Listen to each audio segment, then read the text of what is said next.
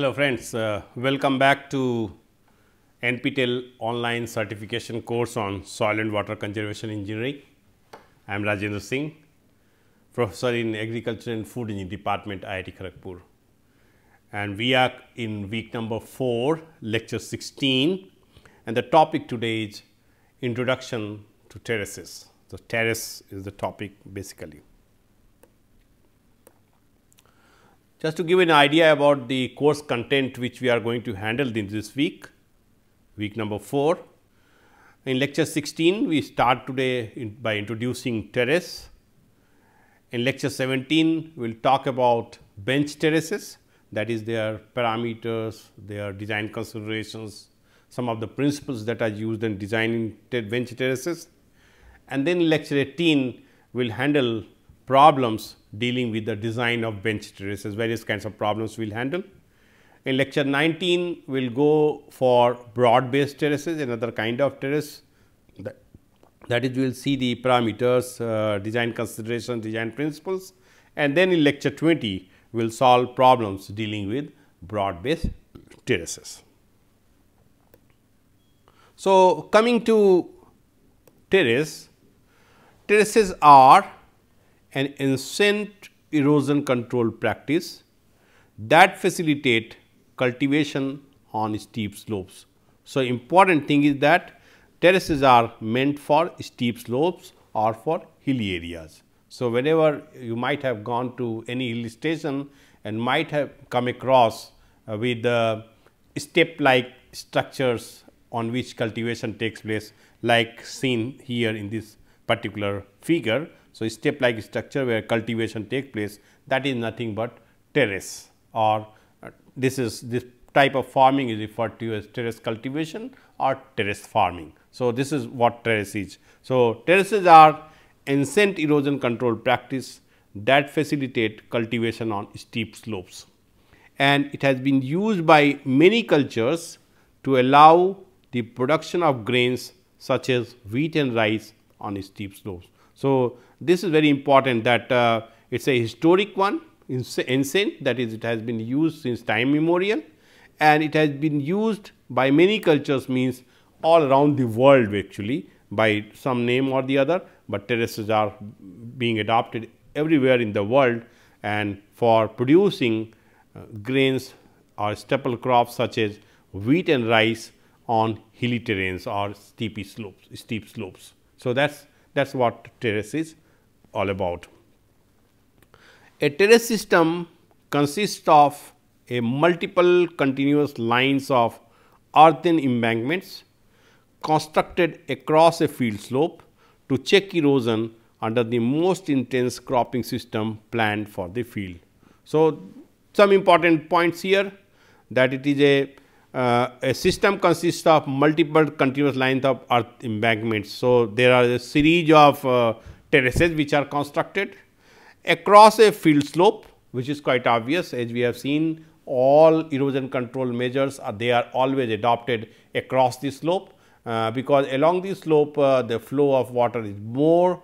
So, that means the erosive capacity of the flow will more will be more and that is why we what we try to do is try to check the flow of water check to check the flow of water magnitude as well as velocity. And for that what we do is that we break the entire slope length into different components. And that is why we adopt all practices across the slope be it bunds, be it terraces or any other uh, conservation measures. And the, the, biological measures also we saw agro agronomical and biological measures we saw that we adopt always uh, across the uh, slope. So, across the slope we adopt to check erosion under the most intense cropping system planned for the field. So, this is very important.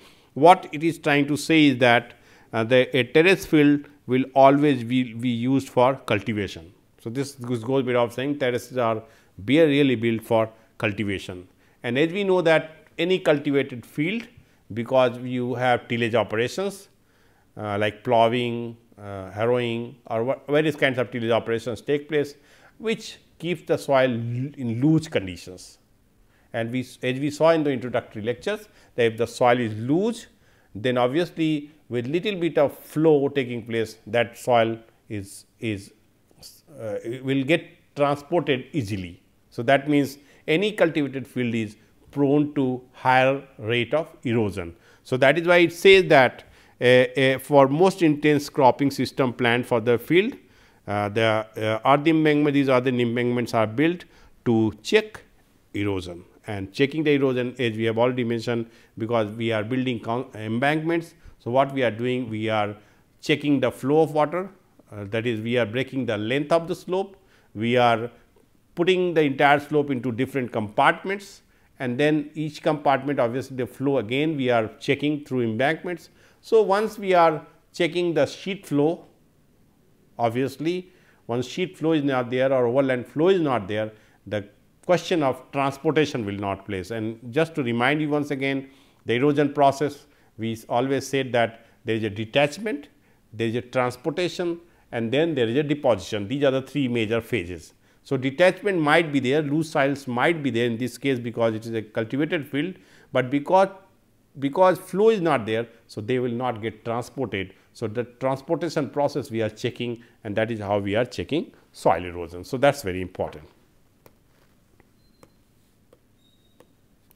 So, now uh, continuing again runoff water intercepted by the embankments is conducted to a stable outlet through non-erosive stable channels or stored and released through soil infiltration. So, basically I mean in simple form you can see that there is a cut, there is a fill that uh, I mean the, this is also referred to as channel and ridge basically.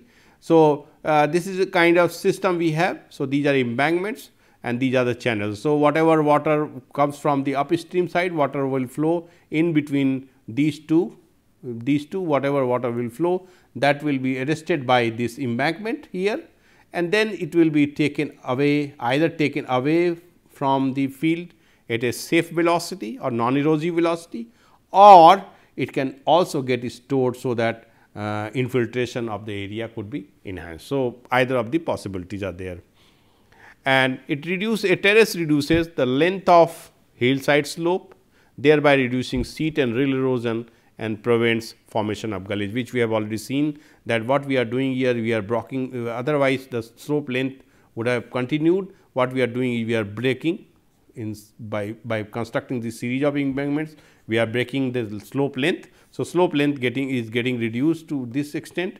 At the same time these embankments are there. We are checking the flow. So basically what we are doing is that we are not allowing flow to take place or overland flow to take place and that is why the sheet erosion which is followed by rill erosion is not there and once that is not there then formation of gullies will also not take place. So, that is how we are checking erosion. This is another form where by cutting and filling we are making uh, horizontal uh, or various kinds of possibilities are there, but benches which is referred to as bench terraces. So, we, all these details we will see uh, in next lectures. Now, coming to objectives of terracing, there are three fold objectives.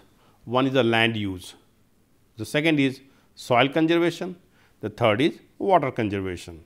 And so, land use obviously uh, means that we want to facilitate farming on steep slopes that is on steep slopes or hilly areas which otherwise cannot be cultivated. If we go for terracing then the land can be used for cultivation which is the primary objective. Next objective is soil conservation and we have already seen that because the total area is being broken into I mean oh, we have seen that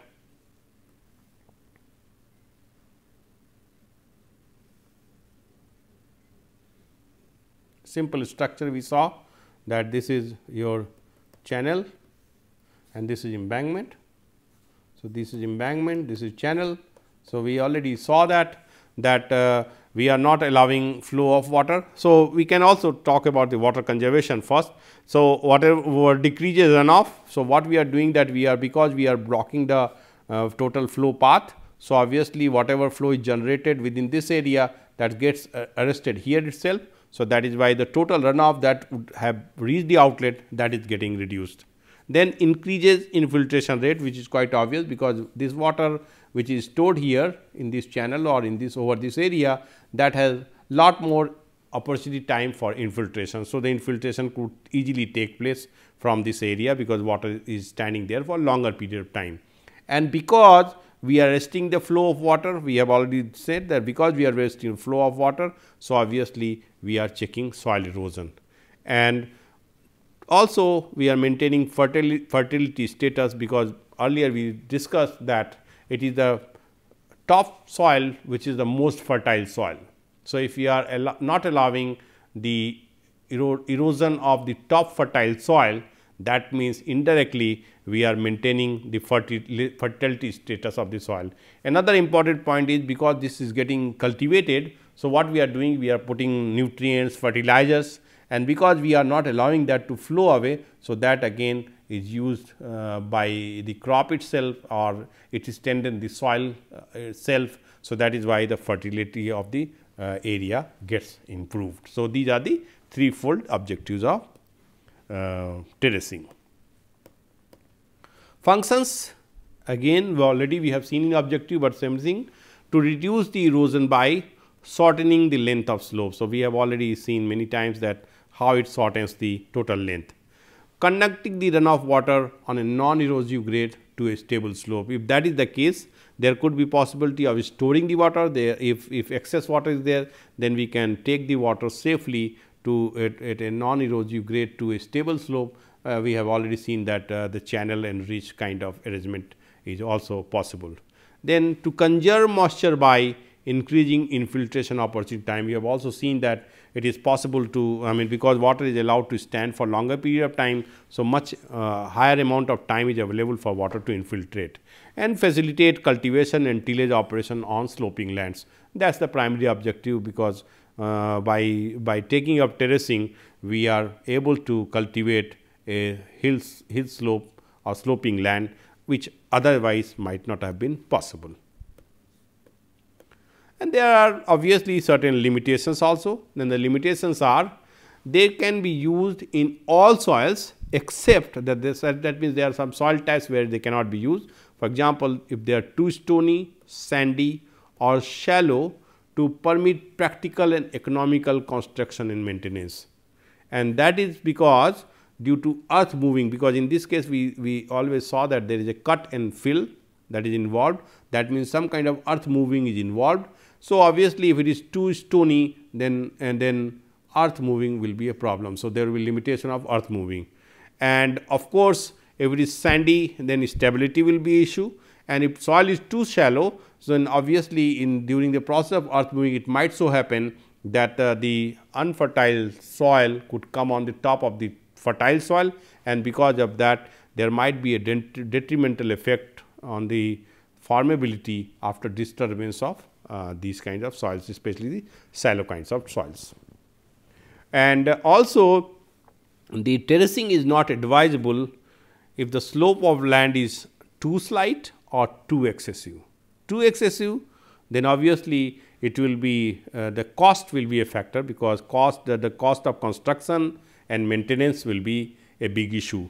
And if it is too slight then because these are expensive, these are expensive measures. So, obviously, there might be much, much uh, inexpensive measures available that might be more uh, viable for a uh, land with slight too slight a slope than to go for terracing.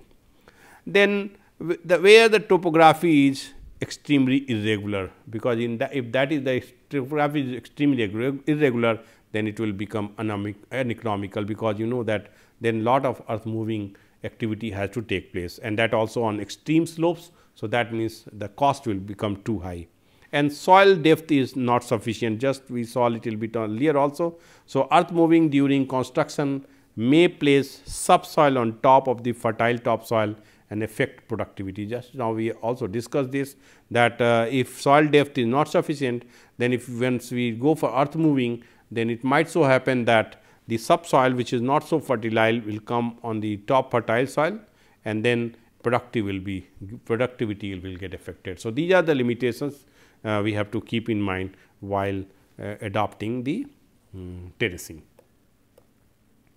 Then coming to classification of terrace in India terraces are classified into two major groups that is broad based terraces and bench terraces. The broad based terraces and bench terraces.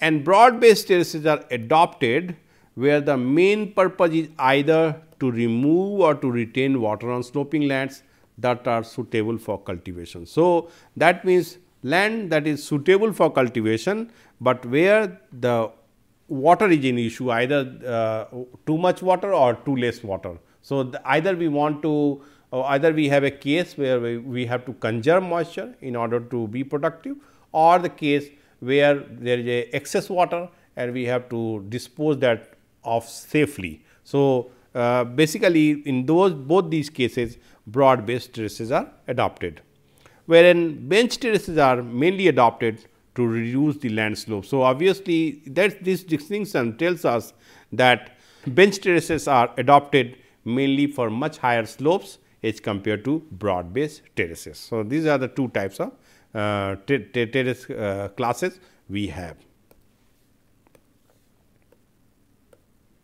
Now, there is a much bigger picture of uh, classification also which is possible. So, for example, if you look at this uh, classification, the terrace as we have already seen that broadly it is classified as broad based terrace and bench terrace. And if you look at the broad based terrace, this can be further classified as graded terrace or level terrace and that is drainage channel type or absorption or ridge type, which we, we already saw that broad based terraces are adopted where the soil conservation or soil uh, sorry moisture conservation or moisture removal is a issue. So, graded if you have to take the uh, water away and level when we have to uh, conserve the water. And the graded one can be further classified with proper channel or without proper channel. So, these are the complete classification for broad based channel. On the other hand, if you look at the bench terraces, they are classified at four different types. They can be of four different types that is leveled or tabletop, sloping inward, sloping outward or Puerto-Rican. So, these are the four types. So, broad based terraces are graded and level, graded can be further as proper or, mm, or without proper channel, wherein bench terraces are tabletop, sloping inward, sloping outward and Puerto Rican. So, these are the complete classification of terrace system. Let us talk now about the broad base terraces. So, broad base terraces are defined as terraces for which all constructed and excavated slopes are flatter than 5 is to 1 and the entire terrace is cropped. So, this is very important that the, the slopes obviously, whenever we say we, we are going for terracing, it always involves cut and fill. So, we have to cut certain soil and then fill that soil, so that this total slope can be reduced. That is the main fundamental. Uh, for example, here this is your original land grade and what we are doing here that we are cutting this soil and then filling this soil here. So, the same soil is being filled here and so that the land slope which was this that has been brought down to this level and so that the entire thing can be cultivated.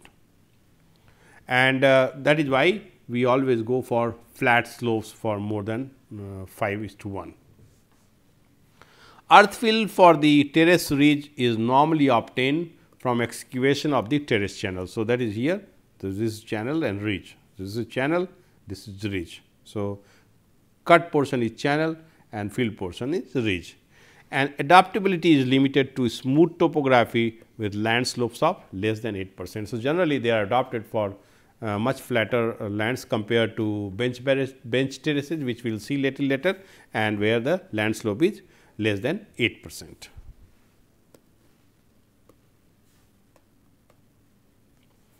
And broad based terraces are preferred due to ease of construction with a plow, tractor blade or any earth moving equipment simply by moving the soil downhill to form a channel and a ridge. So, because the construction is very simple here you have to this is the soil. So, you have to adopt some earth moving uh, equipment so that soil could be cut from this portion and then that same can be filled here. So, basically um, uh, what we have to what you need is simply some earth moving equipment which could be a simply a plow or a tractor blade which can simply help us in cutting the soil and then filling the soil here. So, that is why uh, because the construction is very simple that is why these are preferred.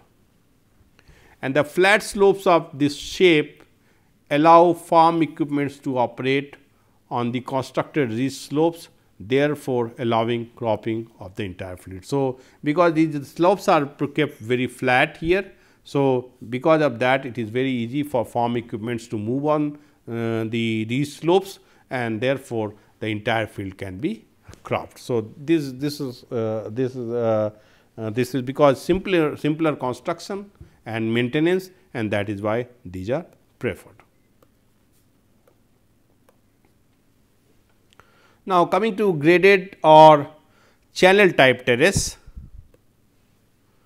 these are constructed by cutting a shallow channel on the uphill side and using only this soil to build the embankment. So, here you see the soil is cut here and filled here. So, this is channel and this is the embankments and it primarily removes excess water and minimizes erosion and that is by reducing the slope length and conducting the intercepted runoff to a safe outlet at a non-erosive velocity. So, what is being done here? Um, of course, the, the you might be perturbed by seeing this simple construction, but what happens uh, is that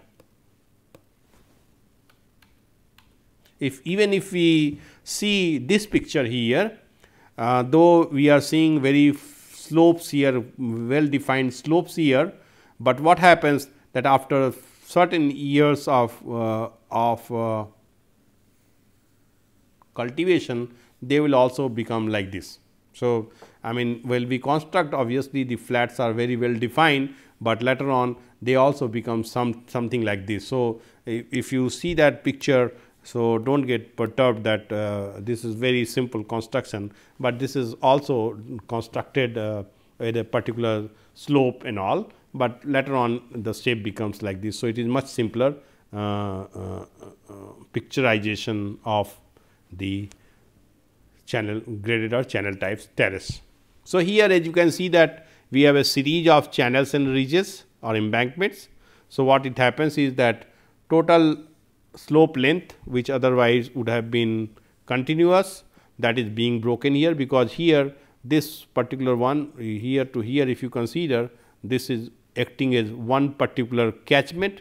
So, whatever water falls here uh, either water of whatever rainfall occurs or flow generated in whatever way that will be confined to this particular area only and uh, that water will not be allowed to flow further. So, what is happening that the total slope length which was available for flow of water that is being broken. This is number 1 and then conducting the intercepted runoff to a safe outlet at a non-erosive velocity. So, because whatever water is flown here because there is a grade natural grade. So, obviously, that will come here near this embankment and because we have this channel here and we perpendicular to board we also provide a longitudinal slope. We provide a longi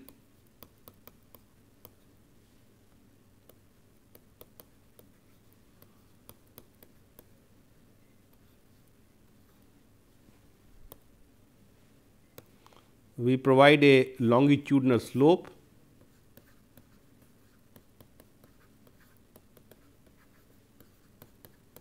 to this channel in such a way that uh, the flow which is generated here in between these two areas that will be taken away that will be removed safely at a non erosive velocity. So, while designing the we use the Manning's equation and all and we know that uh, what are the non erosive velocities we have already discussed that many a time. So, with that that into that is kept into mind.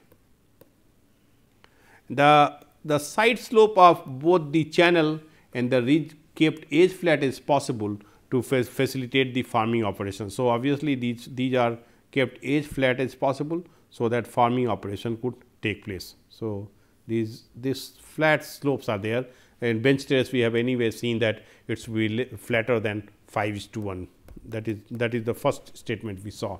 And since construction and maintenance of a satisfactory channel is required, this should not be built on deep sands or on soils that are too stony, steep or shallow to permit adequate construction. So, because the entire concept is that you store the water and then take that safely out.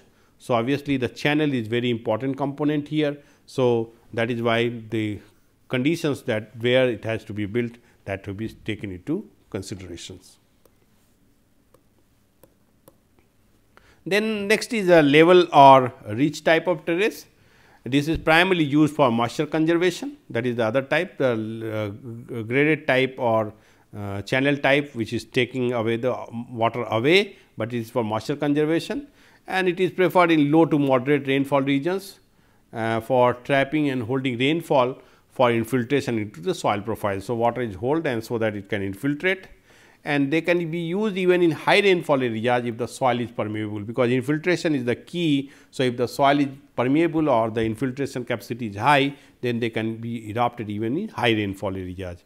And embankment is constructed of soil taken from both sides of the ridge. So, as you can see here uh, the uh, much uh, larger embankment is available here because soil is being taken from either side so that more of water can be conserved. So, the purpose totally is different of the two types. In one case we want to take the water away safely, in this case we want water to stand here so that it gets uh, uh, infiltrated.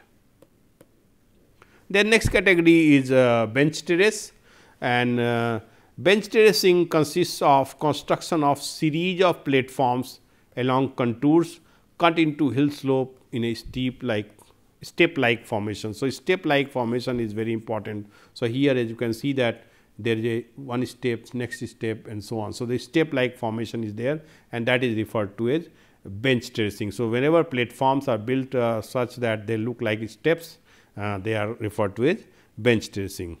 And platforms are separated at a regular interval by vertical drops or by steep sides and protected by vegetation and sometimes by stones or uh, stones by stones retaining. So, this this is what we are talking about this. So, this uh, this this this is refer basically referred to as riser which we will see little later. So, these vertical drops they can be completely vertical or they can be slopy and just to in order to protect uh, them there should be some kind of uh, uh, vegetation should be grown over these so that they remain protected.